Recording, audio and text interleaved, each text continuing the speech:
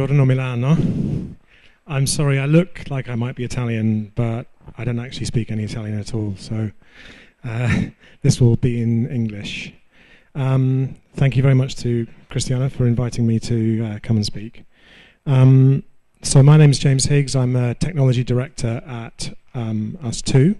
ustwo is a digital product studio um, based in London, um, Sweden, Malmo, uh, New York, and Sydney. Um, so we have four studios. We have actually it's more than 200 people now, and it's more than 22 nationalities now. So um, growing all the time. I'm not trying to sell you anything. I would like to use this bit to set up some expectations about what I'm going to say later, so you don't think that I'm saying something different than I really am saying. So we make, we have three different business models that we run at the same time. Um, the first of those is that we make award-winning products and games. Um, the one you might have heard of um, is Monument Valley. It sold several million copies. Um, it won an Apple Design Award. It won um, a BAFTA, which you probably haven't heard of, but is like a British, really uh, small version of the. Well, it's not that small, but it's the it's the British version of the Oscars. Um, and there's a there's a games category, and we won one of those. So um, we are very into high quality products. That's the thing that I would like to to get across. The second thing that we do, uh, sorry, that's I've already done that. The second thing we do is innovative client works. We do a lot of work for clients that you will have heard of. Um, for example, Sky. Um, the, uh, the, the screenshot there is for the um, famous department store Harvey Nichols. Um, we're working with Jaguar Land Rover, uh, with Ford, they're big name clients. So um, it, our quality standards are very high. Um, so when I say quality is a variable and we go through this, you have to keep the fact that we produce this very high quality stuff in mind when I say it. I'm not saying produce stuff that isn't high quality. So I'm the technical, I'm one of the two technical technical directors in London, and um, we have a team of uh, 35 or so um, developers spanning iOS, Android, web, um, and uh, automated testing. Um, and we call ourselves product engineers, um, which can be a bit confusing because people think we're making you know physical things, which we don't. Um, but it's not just about software engineering; we're engineering products. Um, that's the crucial difference. Um, and so everything I say today will be about delivering end user software. We also do some open source work, and a lot of what I say today is going to be applicable to that, but not all of it. So there are some significant differences between shipping, shipping open source software where your user is another programmer and sh shipping end user software where your user is not a, well, maybe a programmer but isn't doing a programming task when they're using the software. Um, and so as product engineers, um, we serve the needs of the user and also the business through the product. Um, so uh, we are at ustwo um, a very very user centered practice. We do a lot of user research. We do a lot of user testing. Um, we use lean and agile methodologies in order to bring in as much learning as we can from from our users. And so the focus is always should always be on serving users, um, and we do that through the product. And so you'll notice that I didn't say anything about code in that definition of what product engineers do. So code is not is a means to an end, not the purpose of what we do. Um, and so what we do is we do we make things um, we do things to make the product better. Um, that's our primary goal. We don't do things to make our lives as engineers better. Um, that's not the goal although it might be, it might be a means to an end. We make our engineering lives easier insofar as that helps the product. So we don't do things because it makes us make us feel proud of our code. We don't do things because it makes our code tidy. We do things because it serves the product. If it doesn't serve the product, we don't, we don't do it. So one of the biggest issues that I see today in our industry is over-engineering. And um, to put a bit of context, um, the IBM presentation just now showed a typewriter. That's how I learned to type on a manual typewriter before um, well, there were computers, but not many. Uh, I learned before the PC was was uh, launched, so I have a lot of experience of seeing software developed. And there was a time when when software was badly under-engineered, um, and I think there's been um, a wonderful uh, process of making software a lot better. Um, and I think we're now we've gone too far. We've started prioritizing um, the quality of the code and the quality, the technical quality of things over the actual end goal. So engineering is over engineering. Sorry, is where you privilege guesses about the future over facts about the present. So what you know now is the only thing that matters when you're developing a product. Um, what you speculate may be truth in the future, you're almost certainly just guessing. There are some things you can know about the future, like you might know that there's a release date coming up, or there's a particular piece of promotional activity that you need to hit. So there are some facts. Um, we made an application for the World Cup, for example. That's going to happen whether our application is ready or not. So some facts about the future are relevant, but most are not. Um, and the other thing that over-engineering is, is where you make things that are sufficiently easy more complicated. Um, for example, in the clean code movement, you will see hundreds of classes. Um, it's very, very clean, um, but I find it incredibly difficult to understand.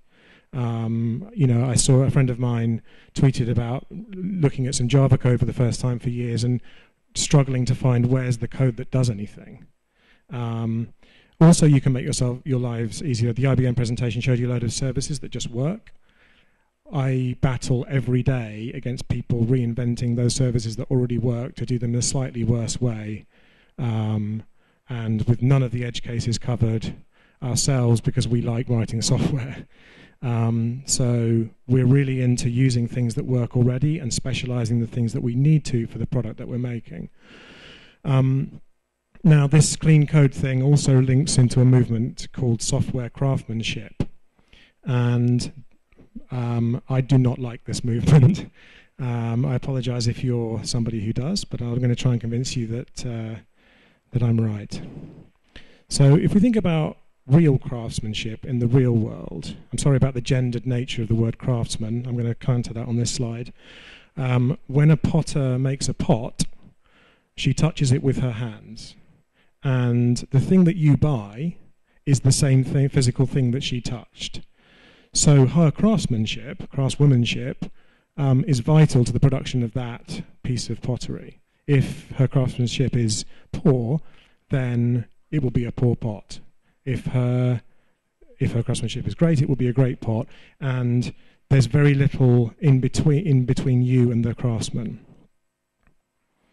But users don't care how your code is structured. And that's because they never see or touch your code. And that's because your code is a transitional artifact. Um, so when your code executes on a device, it's gone through a compiler, maybe, or it's gone through an interpreter, um, or it's on a browser. The user doesn't know anything about how that came, those pixels came to be on their screen. All they care about is that those pixels are on the screen in the right place, and that when they tap on things or they click on things, the, expected thing happens. And so I think a lot of programmers that I come into contact with and that I see tweeting and I see blog posts from focus on the code as though that is the product. But it's not. It's a step on the direct on the way, on the journey to the product. So I'm now going to go into a bit of a, another real world example. This is um, Wolfgang Amadeus Mozart, who everybody knows is one of the greatest musicians, artists of all time. And in 1788, he wrote his Symphony Number no. 40 in G minor, which is Köchel 550 if you're a music geek. Um, and that's a very famous symphony. I'm not going to sing it for you because it would be really embarrassing, but you will have heard it. And we're not certain it was ever performed. Some academics are not certain if it was ever performed in his lifetime. Um, but the modern thinking is that it almost certainly was because there are two versions of it. Uh, the first version um, is scored for, the woodwind is scored for oboes, flutes, and bassoons. and the second version adds clarinets. And the reason for that is that almost certainly the reason is that on the second performance or the second version when it was performed, there were clarinetists available. And the first time there weren't clarinetists available. And so Mozart changed this piece of music, which is an absolute masterpiece, because presumably, the, presumably he would have preferred to have clarinets available. Um, and when they weren't for the first performance, he removed them. So this is a highly pragmatic um, approach to getting his music performed, which is the thing that mattered to him. Um, the the notion that art is somehow sanctified, the artist is sanctified, is a romantic notion from much later than, well, several decades later than Mozart. At Mozart's time, um, you were just expected to produce music and play it as much as possible. He, in fact, in his last last year of his life, um, three years after he composed that symphony, uh, he wrote some music on a commission for the glass harmonica, which is uh, he would never have written that if somebody hadn't asked him to do it, but he needed the money, so he did something that was pragmatic. Um, so our code is to our products what Mozart's manuscripts are to his music, to performance of his music. Mozart's music only exists if it's played. It doesn't exist on paper. I mean, if you can read music by sight, you can play it in your head, but it's still the music itself is the sound waves that go through the air or the imaginary ones in your head, not on the paper. So caring about your code as an end in itself is like Mozart worrying about his handwriting. Um, there's a myth that Mozart never made any mistakes when he was writing his music, but that's nonsense. If you look at some of his manuscripts, they're covered in corrections and crossings out and so on. Um, and uh, he, that, he just sent it to a copyist and they made it into a fair copy and then it got printed. So nobody ever plays music from Mozart's manuscripts. Um, so moving back to some technical topics uh, of that uh, analogy, um, I, uh, I quickly Googled why do refactoring? Um, because refactoring is something that people love to do. We've got to refactor this. Um, and the reason is um, you, um, you, because you have to do it right. I, I can't see this, the text on my screen and I don't have it in my memory, so I'm going to move away a bit. Um, so this is a blog post by a guy called Chris Ergel. I don't know him. I'm sorry to pick on him, but it's the first result that came up in Google. I'm a huge proponent of writing quality code, a view that's shared by many of my colleagues. Unfortunately, I do encounter those who do not share my enthusiasm. Their view is often one of get it done, whereas I like the position of get it done right. And his re the reasons for doing it right are because your code sucks. Uh, debts accrue interest. He's talking about technical debt, which I'll talk about in a minute. Um, repetition is dangerous. Um, spaghetti, haha, relevant to today. Spaghetti is good to eat, I can confirm that, um, but bad to read. He's talking about spaghetti code. I don't know if you use that analogy in Italy, but we do in um, the English speaking world. And littering is rude. But none of these things mention the user of the software. They're all things about the code itself. They don't say what the impact on the user is of any of these things. There might be some, but it doesn't tell you what they are. So he says that these things are good because the code ends up in a state that he prefers.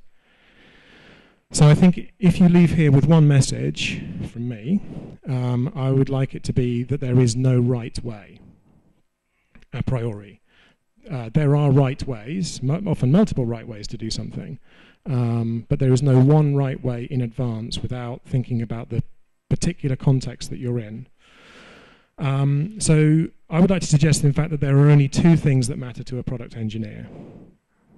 And those are correctness, by which I mean the features work as they're supposed to, it performs adequately, and um, it is secure because users hate badly performing software. They hate use, um, using software that doesn't do what it's supposed to do, and they hate software that's insecure, or they will hate it as soon as they find out it's insecure.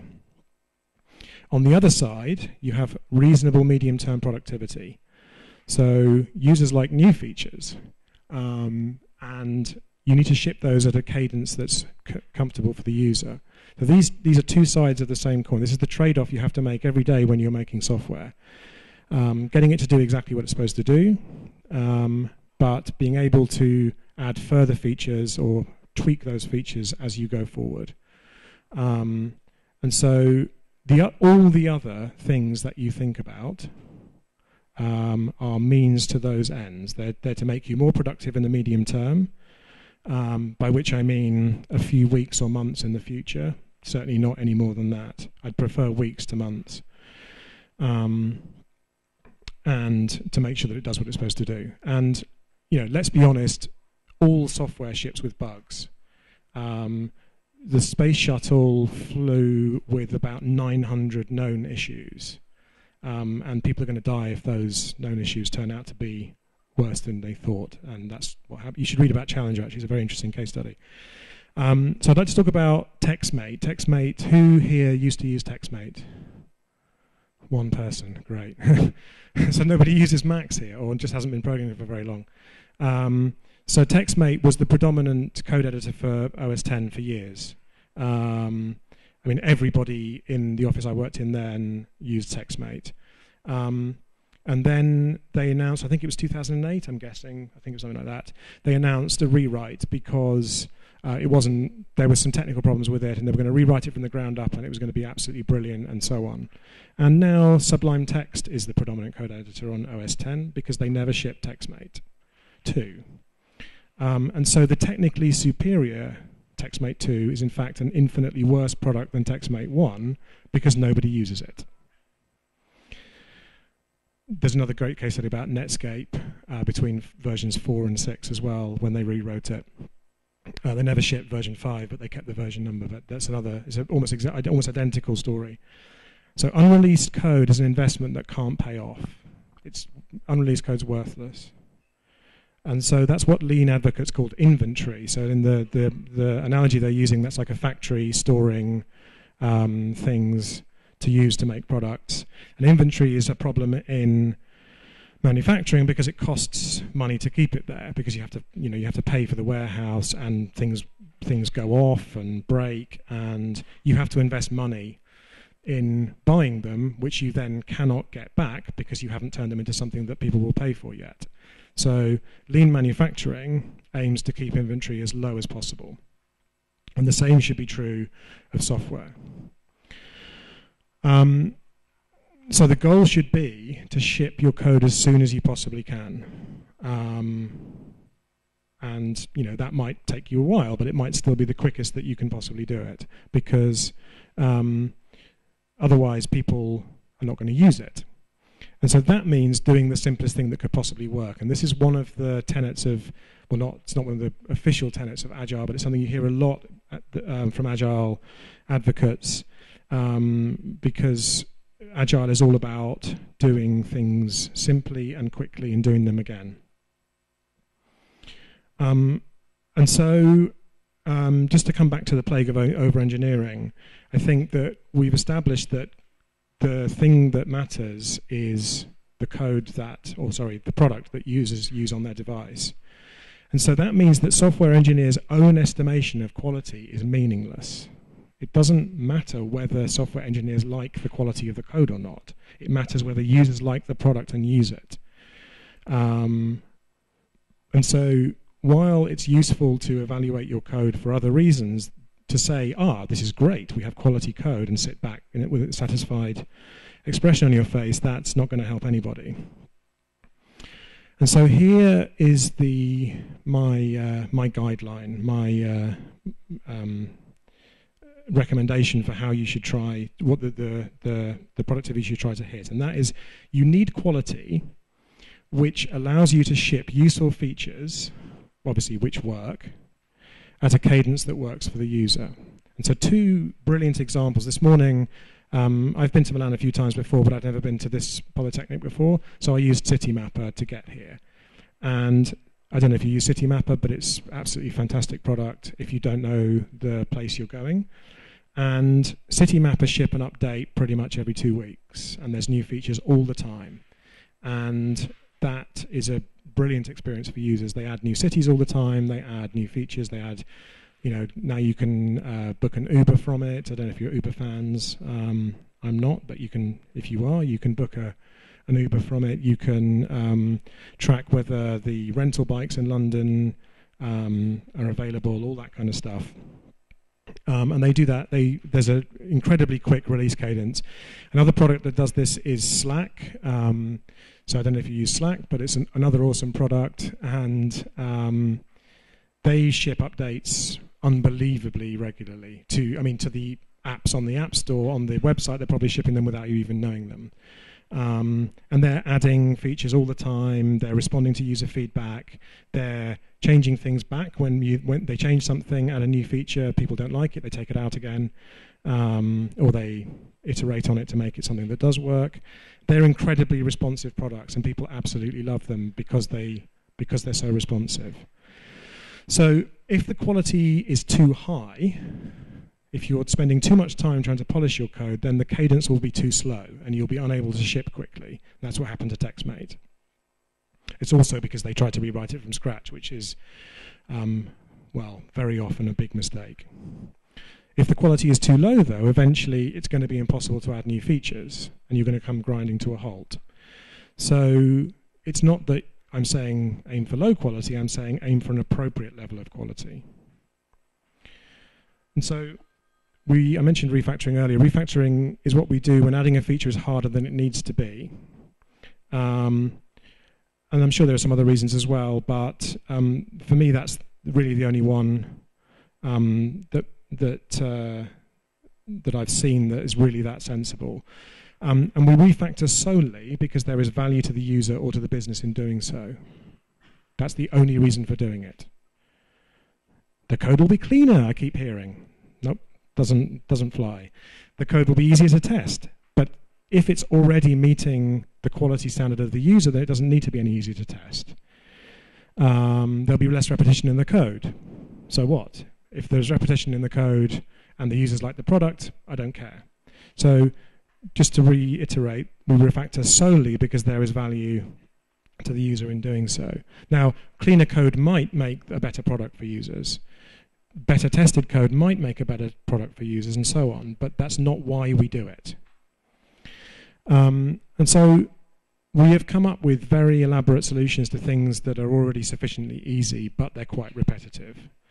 And so people go to enormous lengths to reuse code between products, between projects, um, when really often you should just copy and paste it.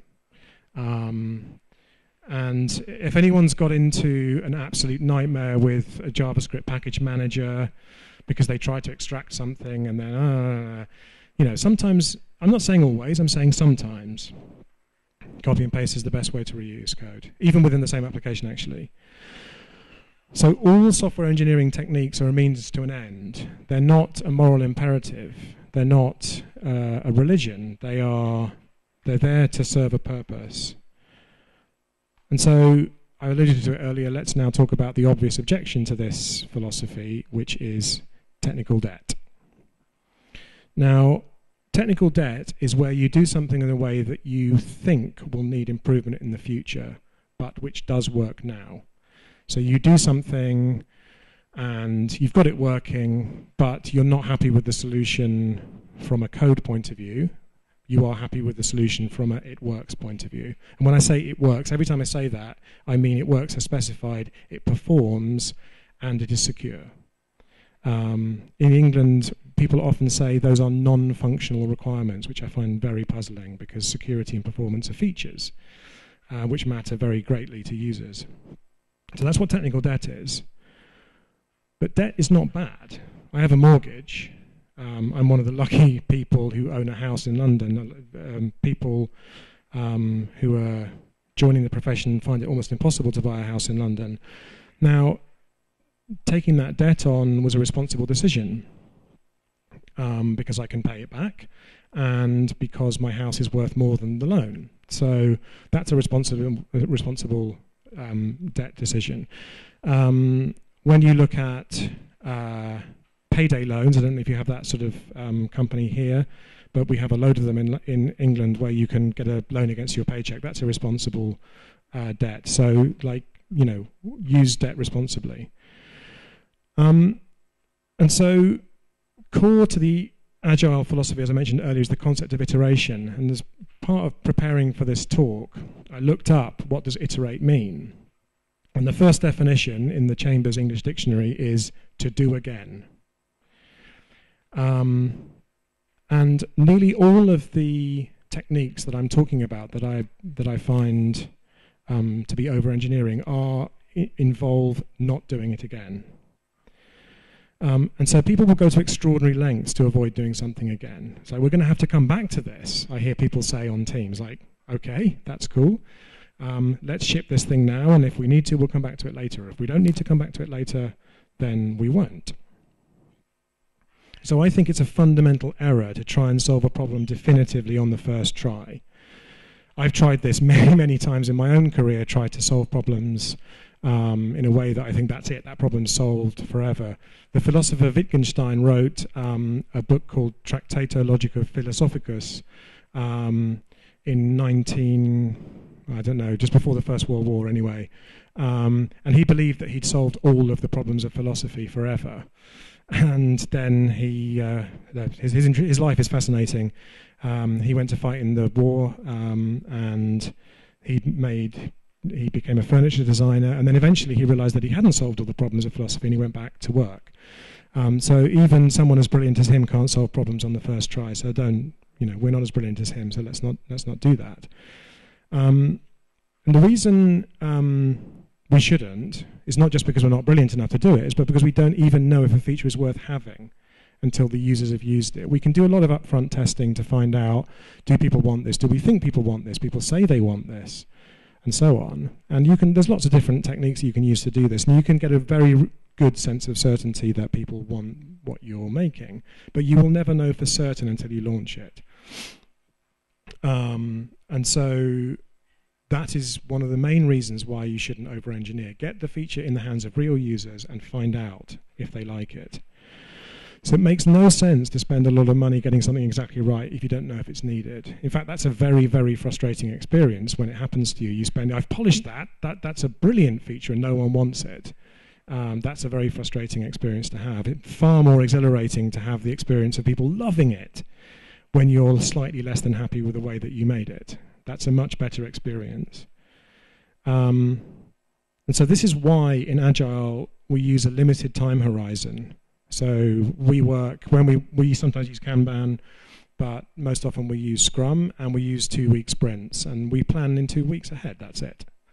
Um, and beyond the two weeks, we're guessing. Ideally, you're shipping that code every two weeks. I mean, that's what you know. Working software is one of the key things about agile, and so um, you you want to be at the end of the two weeks trying to ship that software. Maybe shipping doesn't mean literally to end users, it might mean to some internal test or something like that. But you want to produce working software at the end of every at the ever, end of every iteration. Um, and if you're planning beyond that iteration, you are guessing. Um, and so I think that engineers have scared non-engineers with technical debt for too long. I hear it all the time. Oh, there's going to be some technical debt. And and then the non-engineers go, oh, oh, no, there's going to be technical debt. That sounds really bad. We mustn't have any technical debt. But there, there isn't any, any useful software anywhere in the world that couldn't be improved in some way in its code structure. So technical debt is not something to be avoided. It's something to be used responsibly, as I said earlier. So here's my challenge if you're objecting to technical debt, and is to quantify it. So explain to people what is the what is the problem with that debt? Um, is it something that we really need to avoid right now? Like my grandfather, talking about mortgages, my grandfather uh, hated debt. Uh, he thought it was he thought actually thought it was immoral to have debt, and he never had any debt in his life, and he didn't own a house, and so he paid many, many, many, many times the value of the house in rent that he lived. They lived in the same house for 45 years, my grandparents, um, and that's a very poor decision about debt. So quantify whether that debt is a problem now. When's it going to become a problem? When are we going to have to pay it down? Um, and so many engineers will assert that a given approach is better, but fail to explain how in terms that matter to the product in the foreseeable future. So that's what you've got to do. If you're saying that um, technical debt is a problem, you've got to explain why that's a problem for the product, meaning for users, in the foreseeable future. If you can't do that, then you should just do you should just take the debt on. And most of the time, um, we're told that there are going to be dire consequences later if we don't do it the right way. Um, but are you certain that the future change will need to be made? You say that, oh, we're going to have to come back to this, but how do you even know that at the time you're saying it? Um, as I said, the users may not even want the feature. We may have to make radical changes to the feature. There may be some new feature of iOS that comes out, let's say, if you're writing an iPhone app, that means that your feature is no longer relevant, or you could adapt it um, in a way that means you have to rewrite it from scratch anyway. So you, you, you think you know that you have to return to the code, but you don't. Um, and so, yeah, that, that presupposes some precise knowledge about the future that we don't yet have. I mentioned some things we do know, like we know that the World Cup is going to, well, it's the Olympics now, the next big sporting event. We know the Olympics will happen in Rio uh, next year, and if you're writing some software that's going to be used alongside the Olympics, then obviously you know some facts about the future. But um, you know, most of the things that we say we know, we don't really know. So never mind technical debt. Let's talk about technical bets. So engineers who want to invest in doing things the right way should show where the value is to the user. We've already talked about that. When you choose to make a technical bet, which is something you're saying, I know something about the future, I'm betting that this, this is true about the future, um, what you should do is go back and measure whether it was worth it when you've had some context. So the thing that you said was going to become true about the world, did it become true about the world? And even then, was it worth making at that point? Could you have could you have got the, the feature in the hands of users faster and still ended up where you are today? And don't there's a there's a two brilliant pages that I love on on English language Wikipedia. The first one is called a list of common misconceptions. Um, one of the common mis- misconceptions, I don't know if it's if people think it's true here, but they th- said that Roman amphitheaters had things called vomitoriums where you'd go and be sick if you'd eaten too much. But actually, it, the it's just the word vomitorium uh, in Latin means where people exit the the uh, the Colosseum or whatever it is. So there's a list of those. That's a brilliant page. Um, the other one is a list of fallacy, common fallacies, and a common fallacy is retrospective determinism, which is where you look back at a decision made in the past and say that it was inevitable you'd ended up where you are. So a good example is when he declared himself dictator of the Roman Republic, Julius Caesar was bound to be assassinated, and that's obviously false. Um, so it's very tempting to look back and say, ah, I told you that that was going to happen. But how often do you look back and at ones you said, I told you that, and you were wrong? You only look back at the ones that you were right on, and they're probably far fewer than the ones than you were wrong on.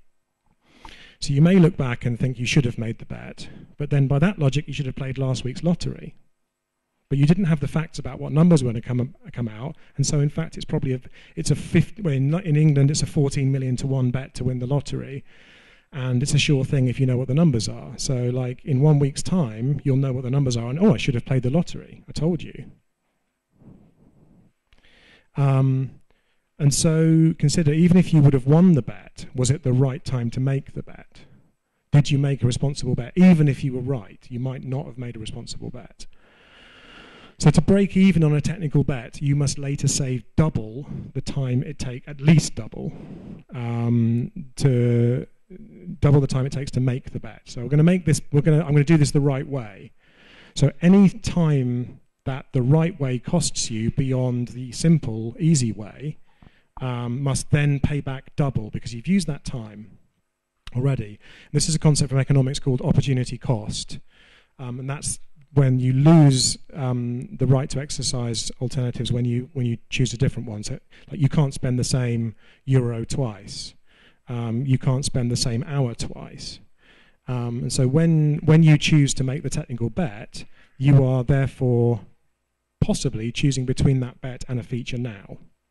So we're going to do this the right way. We're going to spend two days getting this absolutely right, rather than the, let's say, half a day that it would take to do it quickly. So then you've cost a one and a half day feature now. That's, that's the bet you're making. So you're saying that the future state that you say is better is going to be worth more than shipping the feature now.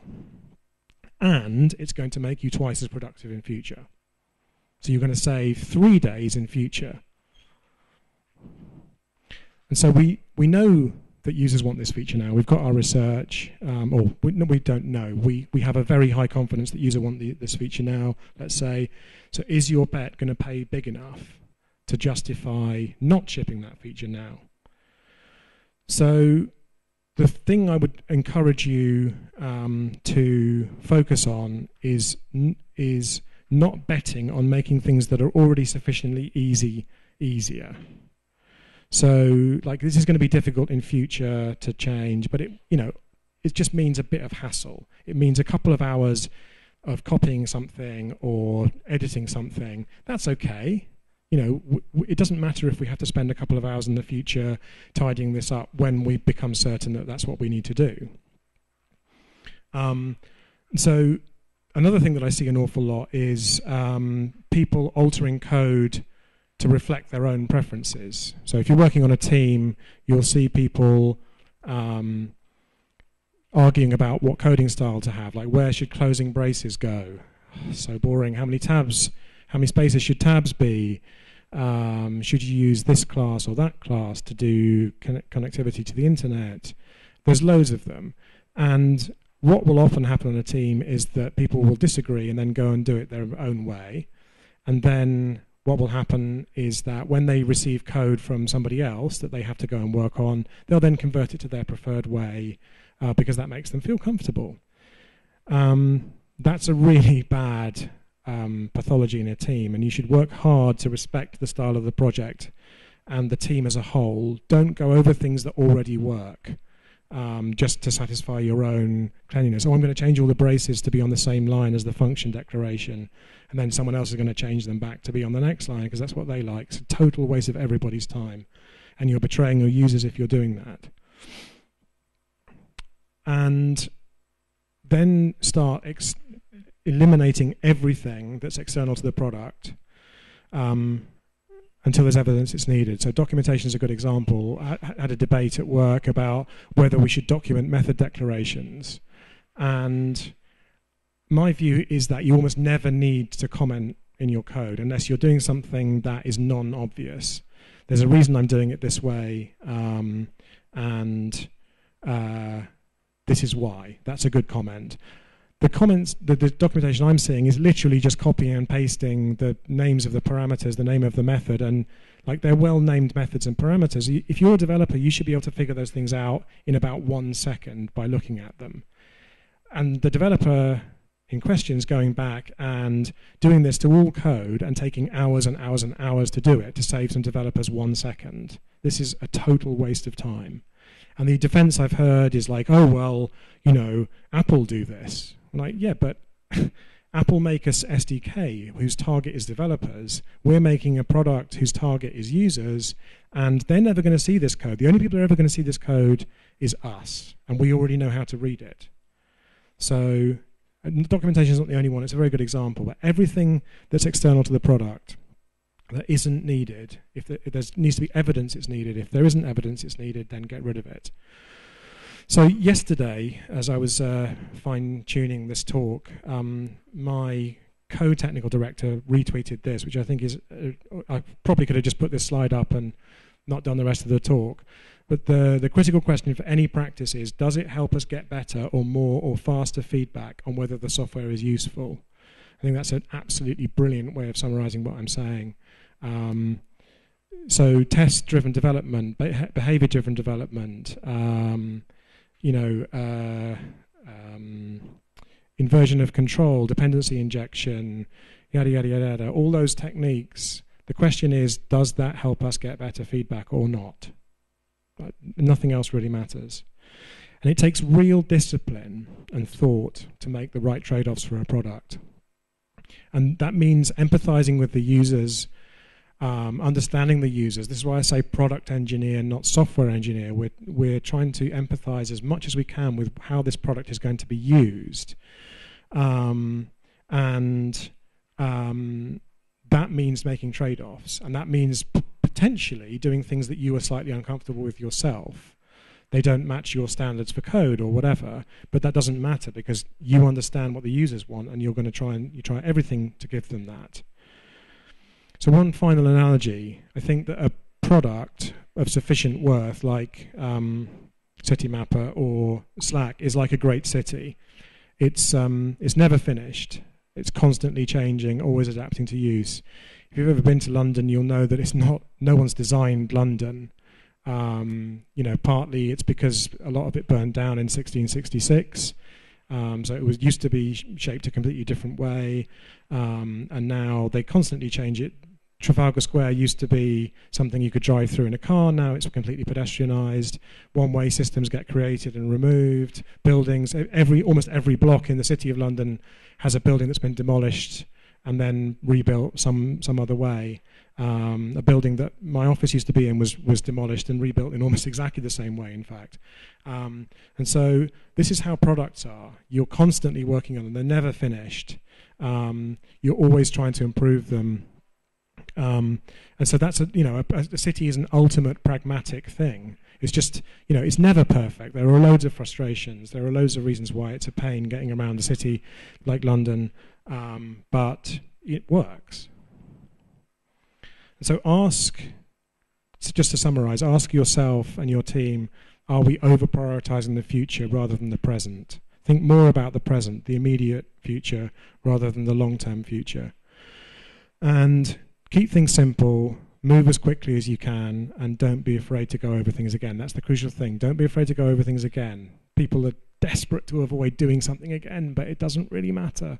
It's fine. Um, so that's my talk. Thank you very much.